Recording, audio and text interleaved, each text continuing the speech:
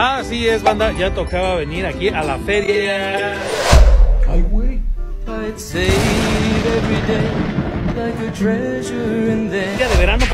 ¿Qué pedo? Es festival, güey. Ponte el tiro porque luego te van a estar fregando por eso. ¿Tú quién eres, güey? No importa, tú nada más di festival. Es festival de verano. Festival. ¿Pobres? Bueno, festival de verano porque vamos a enseñarles la zona para los morritos. Jálense con nosotros. Vámonos. El festival de verano trae temática playera este año y la zona para las morritas y morritos no es excepción porque además de los juegos tiene arena, hamacas y además este año la mera mera novedad es que ahí hay talleres. Esto, Medito, es lo que les quería enseñar, la zona Kids. Vámonos para adentro para que vean qué hay acá. La entrada es gratis a la zona Kids, nada más hay que firmar una responsiva de que van a cuidar a los chaneques, por eso es algo de fila. Ahora, ¿qué es lo que se puede hacer ya estando aquí adentro? Vénganse. Una de las opciones son estos, son los ultra bikes. Están bien a gusto para los chamacos, son de gratis. La Universidad de Guanajuato puso por aquí unos talleres. En estos los chamacos pueden aprender cómo se producen diferentes plantas y frutos con un invernadero, cómo se obtiene la miel, la producción de leche, huevos, bueno, tortillas y también una zona para que ahí hagan arte. Pueden durar una hora dentro, es de agrapa, nada más pues tienen que estarse formando. Algunos juegos sí son de pago, pero también hay algunos que son de gratis, como este, chéquenle.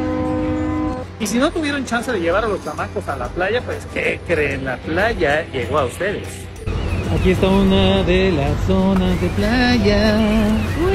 Lo más chido es que mientras los chamacos juegan, ustedes pueden estar en la agusticidad de las hamaquitas.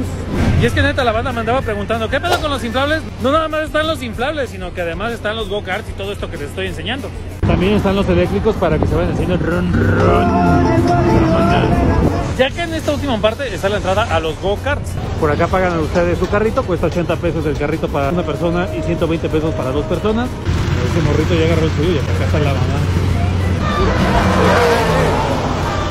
Míralo, míralo, míralo. Ahorita que ya lo vio manejando, ¿de qué le ve pinta? ¿De Uber o de Checo Pérez?